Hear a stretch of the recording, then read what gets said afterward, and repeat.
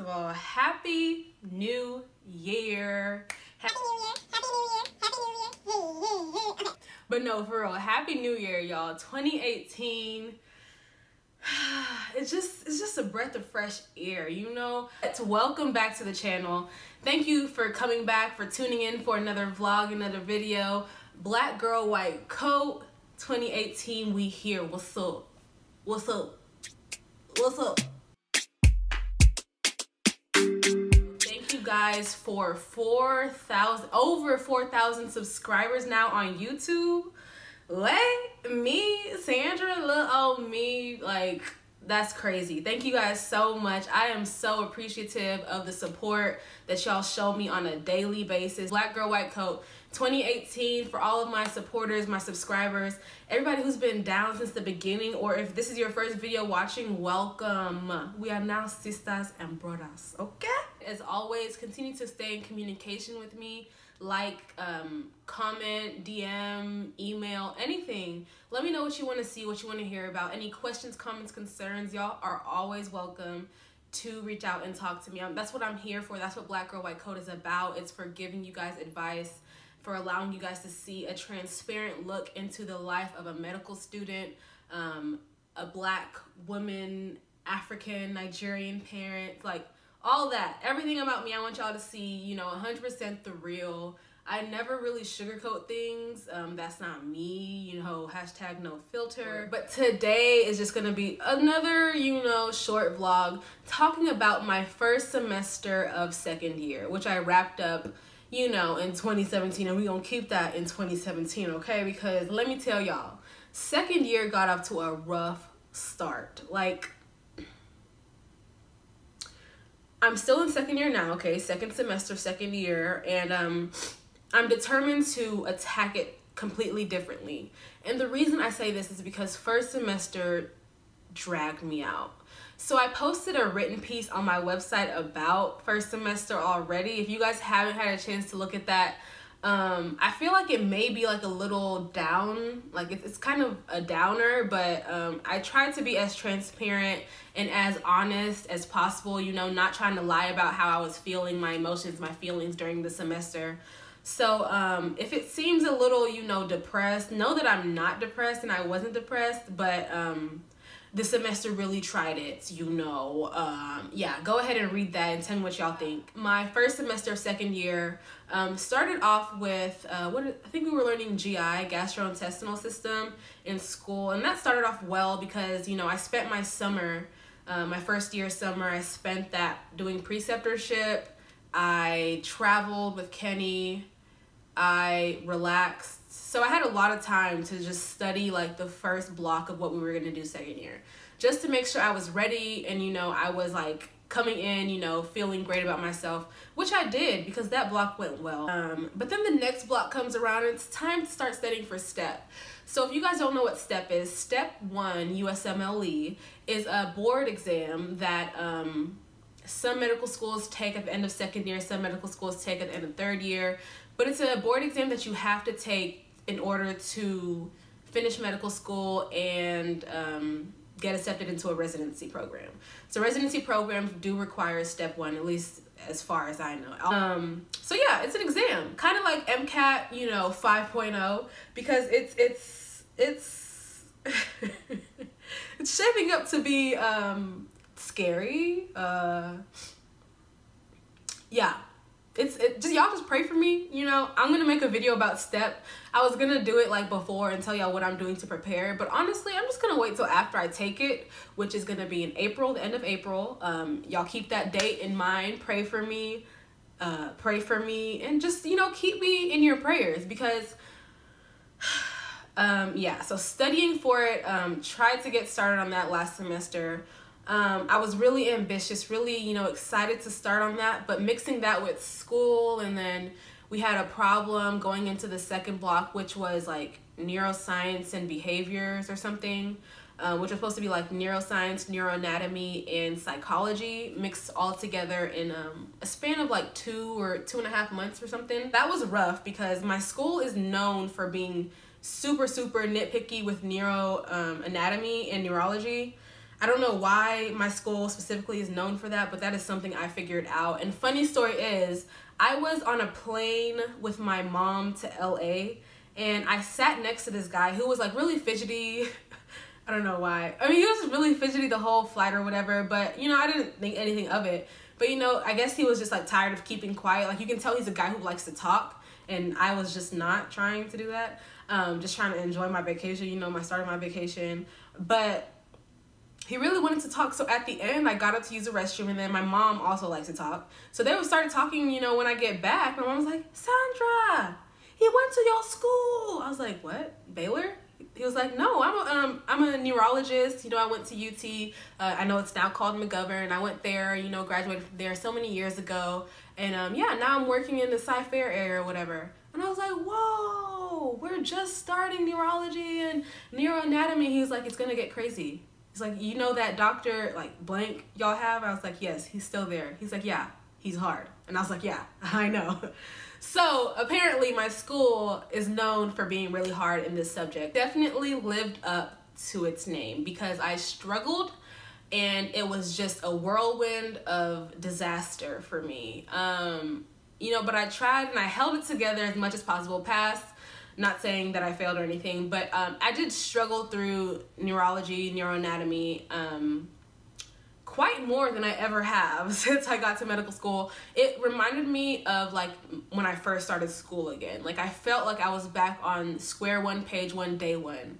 And that was very uncomfortable for me. And as I put in the blog, in the written piece that I posted, um, first semester was just filled with discomfort and just uncertainty and you know self-doubt because i really began to doubt like my intelligence i was like am i really smart enough for this? Like, what am I not getting? Why are things not clicking for me? Like, I couldn't study for STEP and, you know, focus on neuroanatomy at the same time. I couldn't, you know, do two things at once or do like, I couldn't even do one thing at once well. Like, you know, it was just difficult. And I began to question, like, myself like you know what am i doing wrong like am i really you know who i thought i was because like i'm used to being you know i'm used to getting things easily or you know just not easily, but I'm used to getting things eventually at least. And I felt like I was just never getting anything. Like things just were not clicking.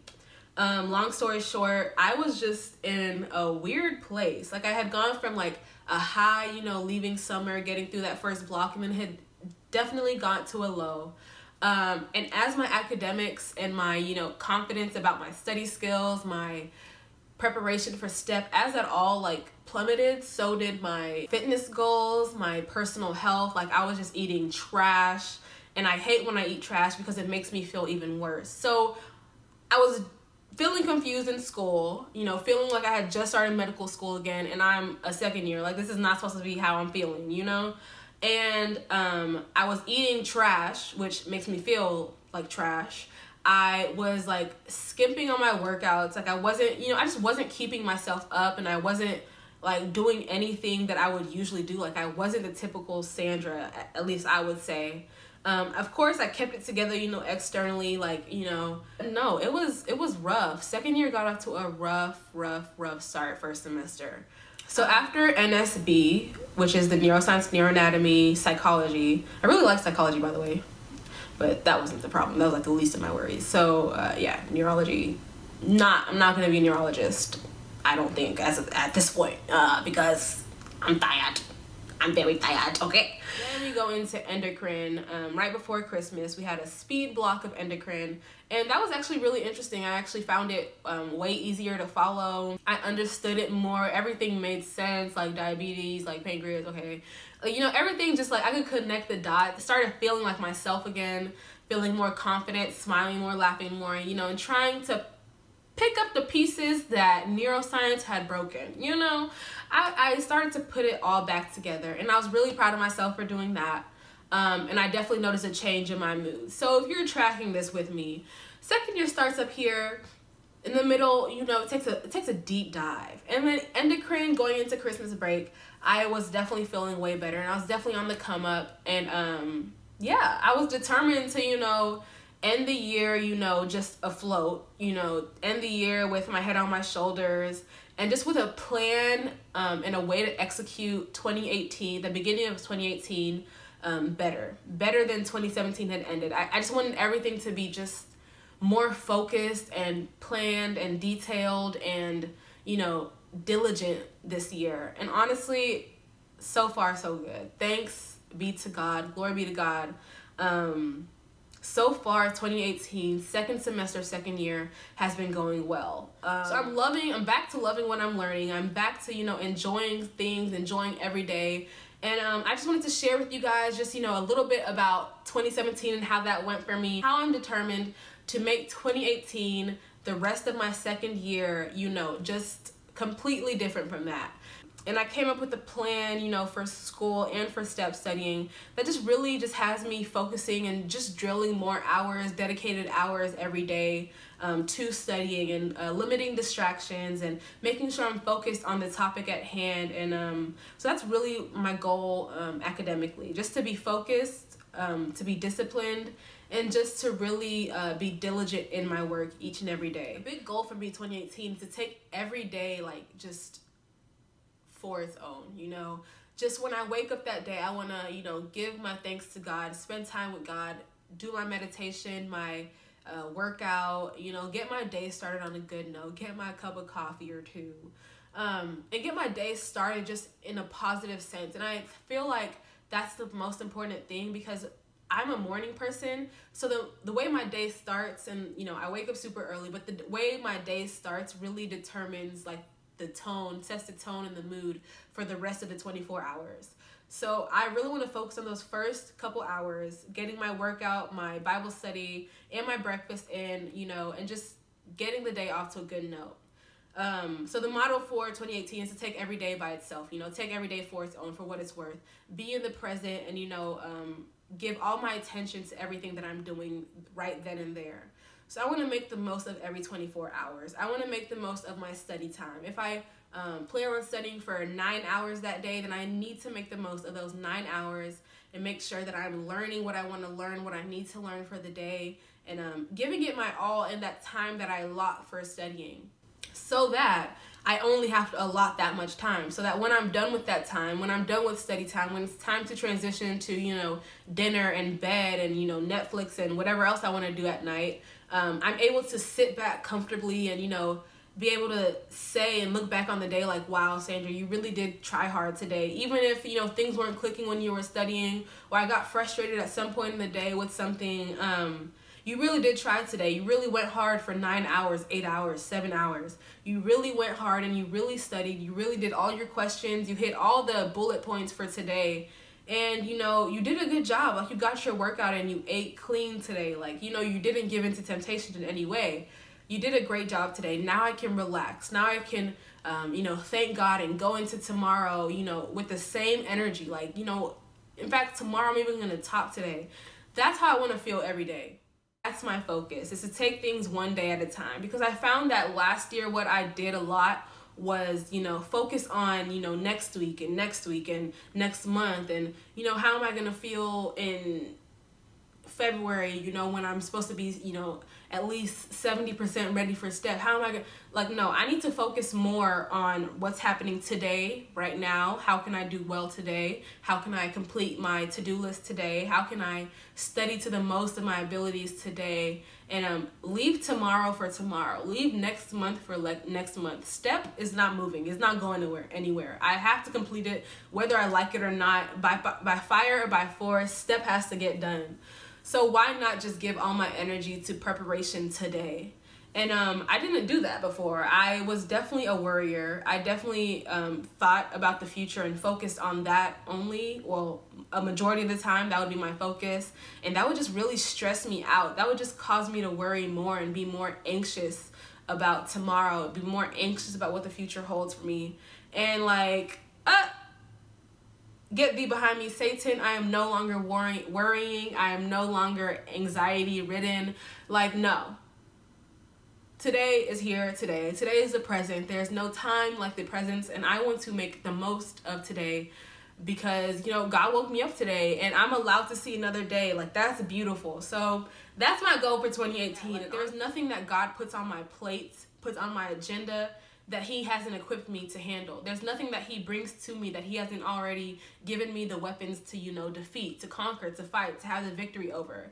And I already know the end of my story is victory. I already know that I'm a winner in the end. I already know that this is my purpose, passion, you know, all that good stuff. So I have nothing to stress about, nothing to worry about. Like I have Jesus. Like it. Jesus done passed step about 617,000 times. Okay, I don't even know what I just said. But I have Jesus and there's nothing to worry about. And that's mood all 2018. So get at me. But that's it for today's vlog. I hope you guys like it. Um, comment, subscribe, follow me on Instagram, send me emails, say hi, pray for me. So excited for 2018. And I hope you guys are too. Um, God bless. Happy New Year. And tune in next time for another episode of Black girl white toes.